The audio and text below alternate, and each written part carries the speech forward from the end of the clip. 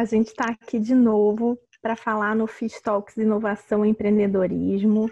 É, como a nossa missão é sempre trazer as necessidades do sistema de saúde em relação à inovação, ao que a gente precisa empreender, ao que a gente precisa criar, ao que a gente precisa trazer de novo para o setor, a gente tem tentado trazer temas de diferentes setores e hoje a gente vai discutir aqui um setor muito importante, que aliás hoje talvez seja o setor que está mais sendo debatido dentro da saúde suplementar, que é a farma, né?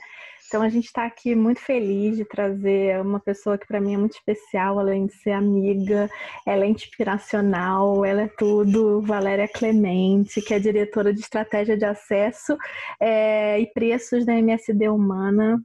Valéria, a ideia é a gente bater um bate-papo bem gostoso, dividido em duas partes, é. onde a gente vai falar um pouquinho dessas necessidades do setor, de como você está vendo as pessoas é, empreendendo, se elas estão indo pelo caminho certo, se o que a gente está fazendo vai ter fruto, se não vai. E aí eu queria primeiro que você se apresentasse, falasse um pouquinho da tua trajetória para a gente poder bater esse papo. Claro. Primeiro, Marta, é assim um orgulho, um prazer estar aqui. Né? Acho que coisas boas que o mundo corporativo nos traz, né? É a gente tá próximo e manter é, amizade, manter trabalho, manter uma vida de inspiração, né? com as pessoas que a gente foi tendo afinidade e você sabe que você é uma delas. A gente começou aí trabalhando juntos em diferentes né, é, lugares, mas que o que a gente pensa da vida das pessoas e o que a gente quer deixar para esse planeta, eu acho, é, em termos de saúde, é muito parecido. Né? Bom, eu sou pediatra de formação, eu fiz faculdade no Rio de Janeiro, onde eu tenho muito orgulho de ter estado na, na Souza Marques, me formei pediatra e comecei a entender que eu estava sendo colocado em alguns fóruns, né? Então era, sei lá, chefiar os residentes do hospital, né? Depois ser coordenador, diretor de enfermaria. Falei, oi, o que, que é isso? Nós médicos somos absolutamente à parte né, do que não é assistência. Então, acho que esse é uma demanda de todo o sistema, né, é que o, que o, que o médico ele seja colocado em contato né, com temáticas de gestão, temáticas econômicas, né, para tirar o peso da caneta de uma mão, né, e levar para um grupo. Acho que isso é muito especial. E eu comecei a achar que eu estava muito à parte. E aí comecei a me capacitar, me capacitei da administração hospitalar, MBA em economia da saúde na, na Unifesp, Unifesp com Marcos Bose, e um outro mundo se abriu. Né? Eu continuo picada pelo bichinho SUS, né? Então eu continuo médica assistencial no mesmo hospital onde eu fiz residência, lá se vão 30 anos, né? E eu tenho muito orgulho disso e acho que é super importante é, para minha carreira porque me dá um balizador, né? Eu todo dia em diferentes setores que eu passei da saúde, a gente fala de inovação, debate inovação, né? Mas nem sempre essa inovação conversa com o que está na, que tá na ponta. Então, talvez, eu sei que eu já estou adiantando uma coisa, mas eu sabe que eu vou falando e eu vou pensando. Eu acho que é uma coisa é como é que a necessidade da ponta conversa com a tecnologia e com a gestão. Né?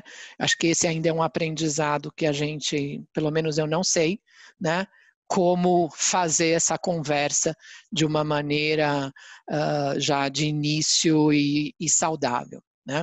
Então, daí fui, continuo no sistema público, mas fui para a parte de gestão e comecei na área administrativa da medicina. Então, fui para dois grandes stakeholders da saúde suplementar, né, que, que me ajudaram muito a crescer, né, que foram operadoras de saúde. Então, fui a Mil da época do Edson, né, Sul América da época do, do Manuel Pérez e assim por diante. E lá eu fui descoberta é, pela indústria farmacêutica, que eu jamais na vida tinha pensado em trabalhar. Né? O máximo que eu fazia de contato com a indústria era fugir de representante né, dos corredores do hospital, porque eu tinha alguma coisa que eu tinha que fazer. E aí descobri um novo mundo, né?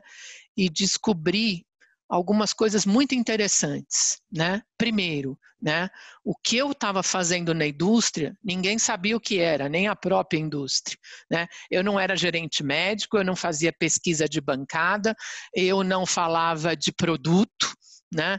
Eu não fazia propaganda, então assim, o que, que é isso, né? Eu acho que eu cresci junto com essa coisa que chama acesso à saúde, né? Que é uma maneira de você pensar estratégias, né? Para que a tecnologia correta né, seja aplicada na hora certa, para o paciente certo, né, e que o sistema possa custear tudo isso de uma maneira saudável, de uma maneira sustentável. Né? Fiquei oito anos na Roche, uma casa para mim, que eu tenho muito orgulho também, né? Fui para consultoria, então acho que esse balanço da carreira, né? É, serviço público, gestão pública, médica assistencial, indústria farmacêutica, eu falei, peraí, vou pegar tudo isso e vou fazer os grandes projetos para vários stakeholders. E tive o prazer imenso de trabalhar com Otávio Clark, né? E aí contato, isso foi precioso, Marta, que foi conhecer os bastidores, né, de todos os stakeholders, porque quando alguém, você sabe disso, né, você é consultora hoje, tanto tanto quanto eu fui, quando alguém te chama para um projeto, você vê realmente a dor, né? Você vê a necessidade, você vê a integridade, você vê a intenção, né? E tudo isso tornou muito rico, né? Eu fiquei três anos e pouco, descobri muita coisa, aprendi fenomenalmente, coisas que eu não imaginava, de pôr a mão na massa, economia da saúde, farmacoeconomia, discussão, aula, foi muito inspirador, e aí eu fui para um projeto maravilhoso, né, que realmente é, ia fazer diferença como está fazendo para a vida de muitas pessoas e eu embarquei nesse projeto retornando na Farma e hoje eu estou há três anos e desenvolvendo aí um trabalho em várias áreas. Então essa é a Valéria, um pouquinho de cada coisa, um mosaico, mas que me deixa confortável em, em ser um stakeholder que quer fazer alguma coisa na saúde, independente da onde tiver. Acho que é e por aí. aí. Val, eu acho que eu pego o primeiro ponto, que é um ponto que para mim ele é crucial. A gente fala tanto de mudança da saúde, né? A gente fala de integração dos sistemas, integração dos setores, que só assim a gente vai sair do outro lado, porque a gente fala isso há muitos anos, né? Já tem 10 anos Nossa. que a gente usa esses discursos. Só que quando a gente fala de empreendedorismo, quando a gente fala de inovação, a gente replica o que existe no mercado hoje, que é a indústria está de um lado e eu estou do outro seja eu operadora, seja eu hospital. Então, assim, a gente ainda não consegue ver a indústria como uma parte dessa engrenagem. Ela ainda é vista como um insumo e ela não consegue ser vista como um ator de verdade de dentro dessa engrenagem, né? E quando você tenta fazer isso, as pessoas ainda se incomodam, elas não conseguem ver a importância de se fazer isso. Isso acaba se replicando na, no empreendedorismo e na inovação, porque ou você é de um lado ou você é do outro. Você nunca está ligado aos dois lados, fazendo essa ponte, tentando construir essa integração, pensando os dois lados como um lado só, né? Com um efeito no sistema de saúde. E isso é uma coisa que me inquieta muito, você sabe, já tem muito tempo. E eu queria ouvir de você, que teve dos dois lados, aliás, de quatro lados, cinco lados. Como é que você acha é uma inquietação. que a gente pode fazer, primeiro, a demonstração de que isso tudo faz parte de um mesmo ciclo, de um mesmo sistema? E segundo, trazer a inovação para esse lugar, integrando esses lugares. O que, que você já pensou sobre isso? É, primeira coisa, Marta, eu acho que assim, é, pode parecer clichê, né? É você se colocar no lugar do outro, né? Então, assim, eu estou sentada num pronto-socorro, né? Como é que está aquele médico me atendendo, né? Eu, médico, sentado na cadeira, como está aquela família aguardando uma notícia, né?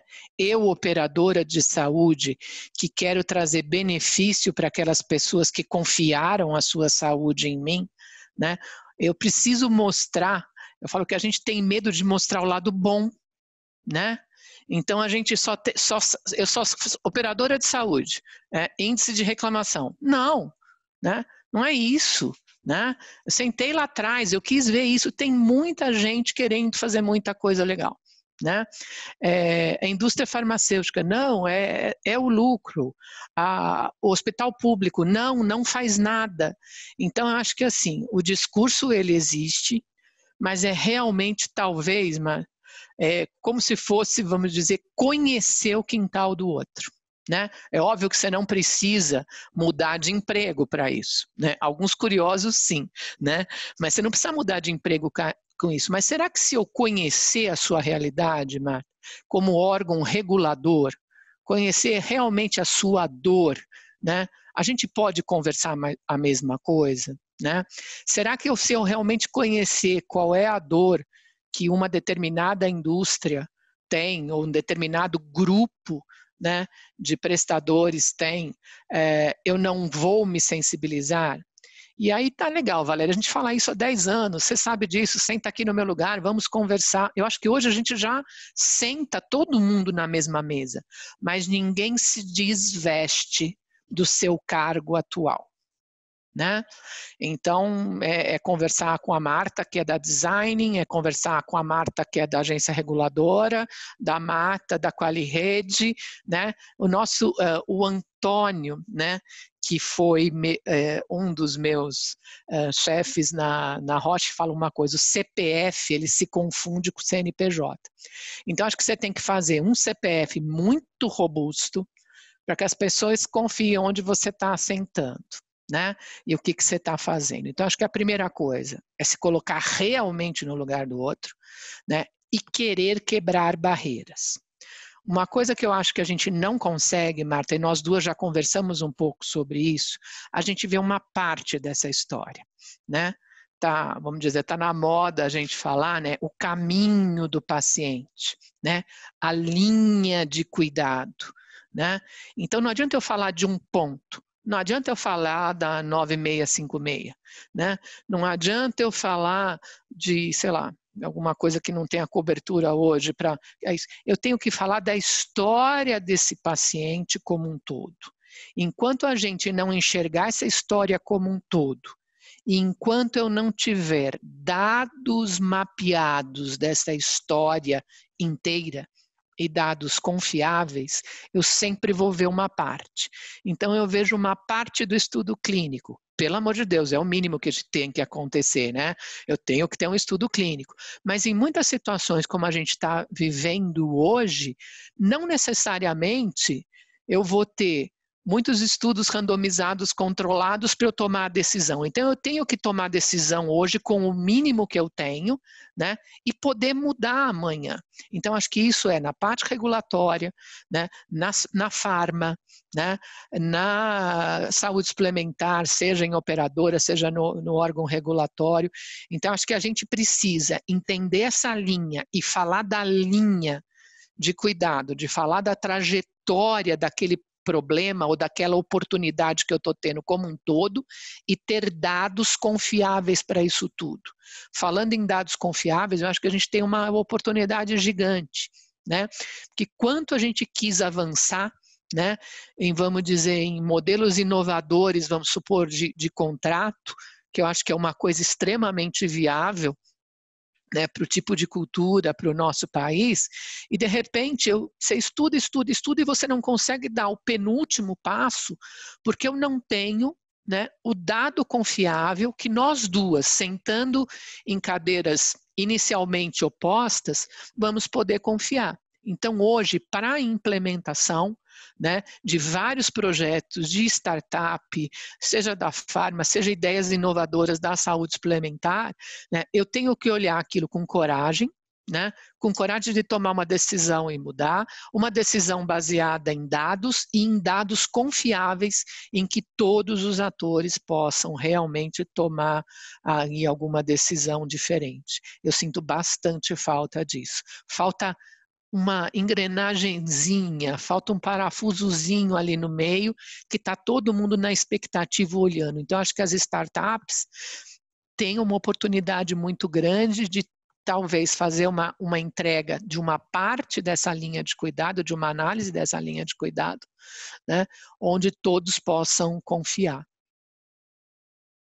E aí, é, vi, já não tem mais cinco perguntas aqui, mas eu acho que para encerrar esse bloco e a gente começar o próximo com perguntas bem instigantes, é, se você tivesse que escolher uma necessidade, agora olhando pelo teu, teu chapéu, tá? Pelo teu ângulo. Tá.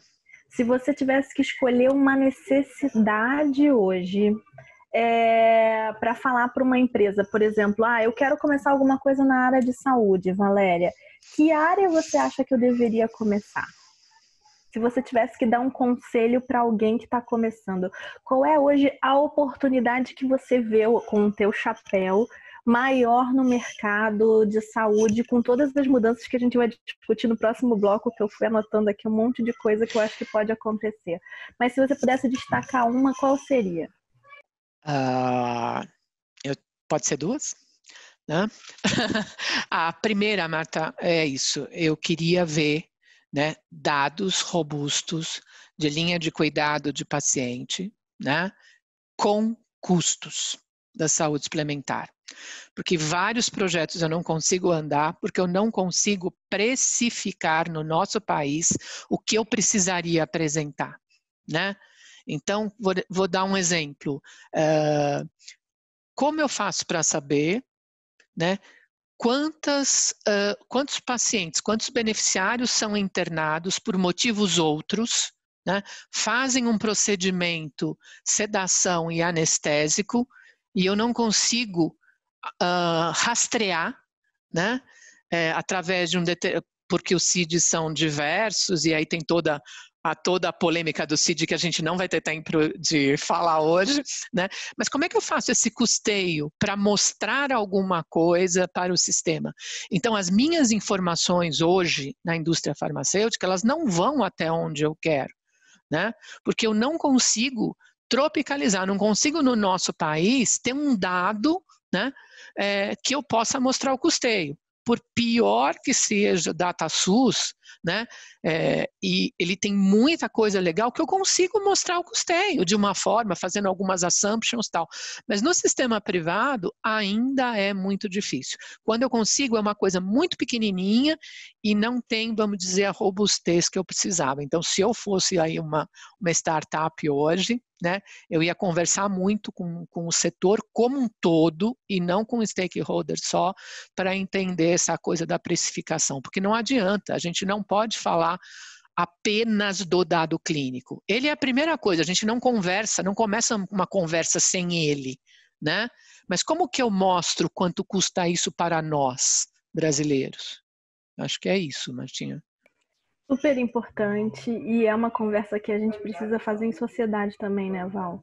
A sociedade precisa entender o significado disso, porque uma coisa é você chegar lá e falar assim, não, isso é muito caro para o nosso país como assim? Isso é para mim. Ela tem que entender e ter a consciência do que é antes dela precisar. Não é na hora que ela está precisando que você vai tentar explicar o que é consciência sanitária, o que é custo populacional, gente. Então a gente precisa criar essa educação, criar essa cultura. Eu também vejo como estratégia de benchmarking, de transparência, um hiato gigante aí para trabalhar com dado dessas empresas que pudessem ser inovadoras e vai aparecer. Não, eu tenho certeza. Isso é uma que coisa vai. que vai ser igual telemedicina. Quando vê, já foi. Pum, já caiu foi. E eu preciso parar é? de passar vergonha em reuniões globais, né? Porque os outros países. os outros países têm o dado para apresentar e eu sou assumption acima de assumption. Exatamente. Quando que eu vou parar de passar vergonha então, e poder assim, entregar alguma coisa legal para o nosso país?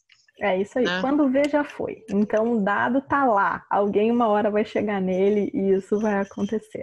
Bom, gente, a gente precisa encerrar o primeiro bloco. Val, viu como passa rápido demais? Não. A gente nem percebe. Mas eu tenho algumas perguntas aqui bem instigantes para a gente continuar a nossa conversa no segundo bloco. Vamos lá, vai ser bom. Estava aqui com a gente hoje e a gente continua essa conversa daqui a dois dias. Obrigada. Obrigado, Marta.